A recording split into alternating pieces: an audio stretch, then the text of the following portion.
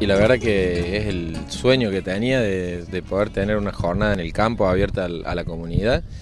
Y veníamos teniendo eventos con ya participación, pero la verdad que hoy es, eh, es lo que yo esperaba, es tener un galpón lleno, 500 personas, donde el 80% son personas externas, son productores, son ingenieros que no están vinculados a la universidad y eso sí me llena de orgullo, la verdad que sí. Eh, creo que, que, este camino que se ha abierto, eh, de hecho se ve en la convocatoria, digamos, es, una necesidad que hoy se tiene en, todos los sectores y si pensamos en generar valor agregado, como se está pensando, y de hecho nosotros estamos trabajando en la creación de más carreras, más profesionales para que tengan una incidencia mayor en, en esto, ¿no? En generar valor agregado en una provincia como Córdoba, que debería tener muchísimo más puestos de trabajo, debería tener muchísimo mayor eh, valor agregado este, y recursos para, para, nuestros pueblos y creo que ese tiene que ser el objetivo y bueno, se ha entendido que ese tiene que ser el camino y eso es lo que nos tiene que llenar de orgullo también. Pero por suerte se ha dado el marco y hemos tenido acá más de 500 personas. El año pasado se hizo en INTA y este año en el campo de escuela. ¿Por qué se eligió el campo de escuela?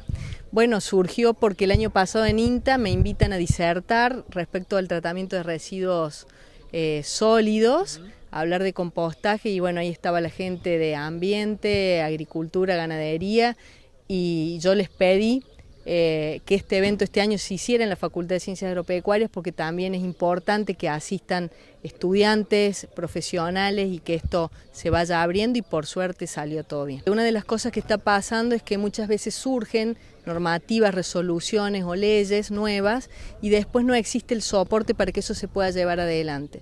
Entonces, cuando se empieza a armar esta resolución, la mesa redactora que intervino en el armado tuvo como concepto y principio incluir esto, esto dentro de las jornadas porque es importante que se conozca después cómo implementar esas resoluciones y no queden en letra muerta.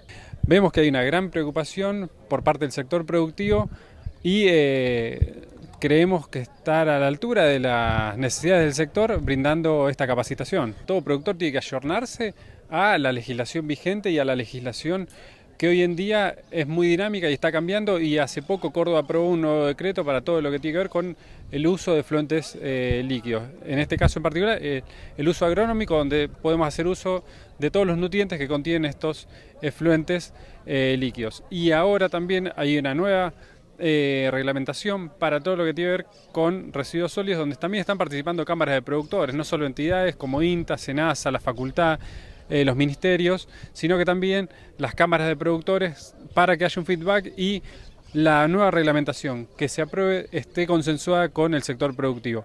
Eso por un lado. Y por otro lado, la necesidad del productor de ver, bueno, cómo utilizo estos subproductos, cómo los transformo eh, de un problema en una oportunidad o en un insumo productivo y ver, bueno, qué dosis aplico en el campo, conocer qué, qué composición tiene este subproducto, ver qué sistema de tratamiento debo hacer. Eh, hemos tenido dos sectores, uno para efluentes líquidos y otro para residuos sólidos, donde realmente tuvimos eh, técnicos de muy buen nivel y estamos eh, muy conformes con la presencia de cada uno de los disertantes porque sabemos que cumplieron las expectativas. A Embrapa, la unidad que yo trabajo, tiene una experiencia de más de 30 años con manejo y tratamiento del esterco, de la producción de cerdos. Como cerdos não é um, uma máquina perfeita, há uma absorção de, de, dos alimentos, mas, mas também há uma, um, um resíduo que, que não são absorvidos pelos animais.